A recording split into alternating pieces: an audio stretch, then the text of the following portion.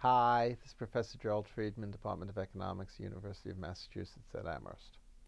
And I'd like to talk today about worker cooperation and productivity. Um, first, why we would care. Um, productivity, for our purposes, we could think of as how much you get for what you put in. Now, um, usually people talk about this in terms of output per hour of work. How much, how many videos does Dan upload in an hour? Um, how many cars does Dan make in an hour on an assembly line? Um, how many student papers do I grade in an hour? And usually, you know, we like productivity. You know, I don't like to spend a lot of time grading papers, so if I can grade the papers faster, then that's good. Um, as long as I continue to write useful comments and actually read the things and grade them fairly, doing all those things, um, if I can be more efficient, then that generally would be a good thing. Um, we like productivity. Productivity means that we're using our labor time efficiently and we get more stuff we are an efficient country in the United States. Our labor is efficient. We produce lots of stuff.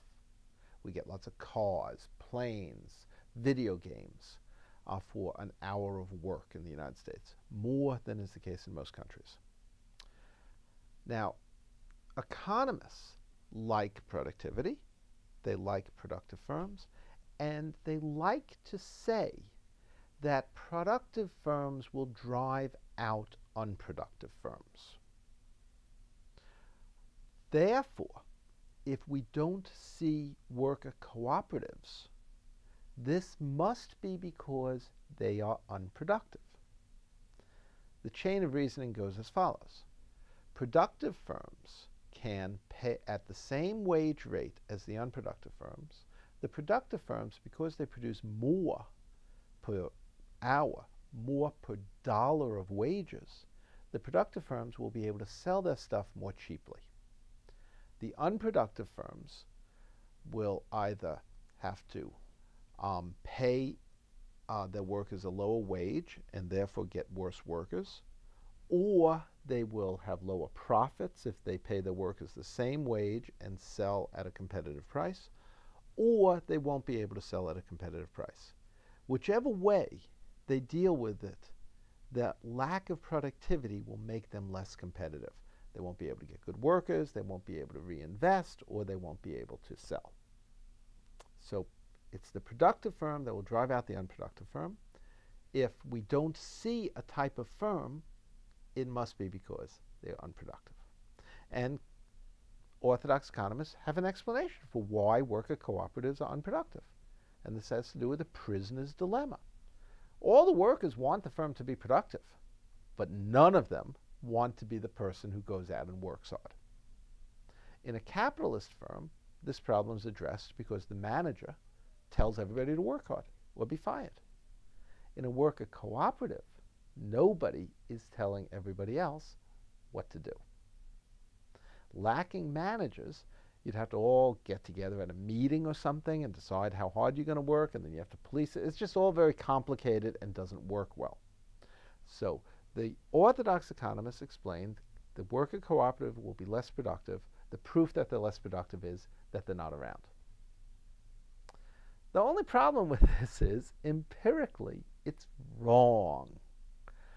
Many, many studies have found that worker cooperatives are more productive than um, capitalist firms.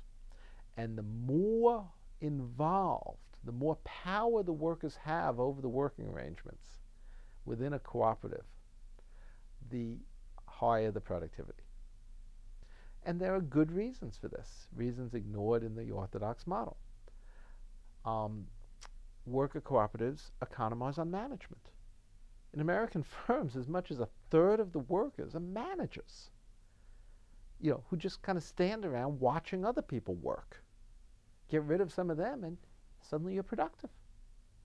Um, worker cooperatives also while they don't have paid managers, in practice, all the workers act as managers over each other.